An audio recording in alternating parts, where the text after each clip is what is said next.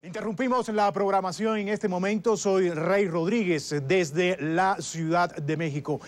Autoridades estadounidenses y mexicanas han capturado a uno de los capos más buscados en el mundo, Joaquín El Chapo Guzmán, líder del cártel de Sinaloa. Joaquín fue capturado en una operación conjunta entre efectivos de la Marina Mexicana y autoridades estadounidenses en un operativo la noche de esta madrugada en el que fue ubicado en un hotel en el balneario de Mazatlán en la en México. Guzmán, a quien las autoridades dicen que ha eludido su captura durante años, es buscado en los Estados Unidos en varios cargos federales de narcotráfico y el año pasado fue nombrado el enemigo público número uno por la Comisión del Crimen de Chicago. Desde hace cinco días, Sinaloa fue un blanco de las autoridades, principalmente de la Marina y la Procuraduría Federal, que comenzaron con una serie de cateos en la busca de operadores del Chapo Guzmán e Ismael El Mayo Zambada, el segundo al frente del cártel de Sinaloa.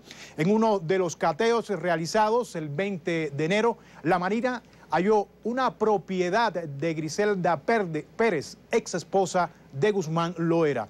En ese lugar fue detenido también Jesús Peña González, el 20 y otros integrantes del cártel de Sinaloa que han aportado información a las autoridades que dieron con esta captura.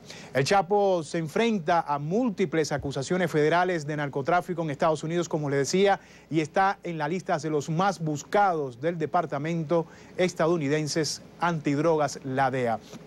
Su imperio de la droga se extiende a lo largo de América del Norte, pero también, pero también llega a lugares tan lejanos como Europa y Australia.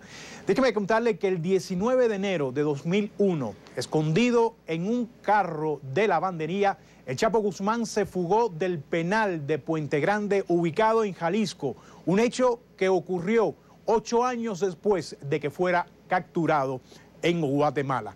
En la última década, Guzmán ha permanecido la mayoría del tiempo escondido en zonas inaccesibles del Triángulo Dorado, principalmente en seis puntos de Sinaloa y en doce de Durango. En más de un lustro, el gobierno solo detectó a El Chapo en dos ocasiones, en zonas urbanas, Culiacán, Sinaloa y Los Cabos, Baja California Sur.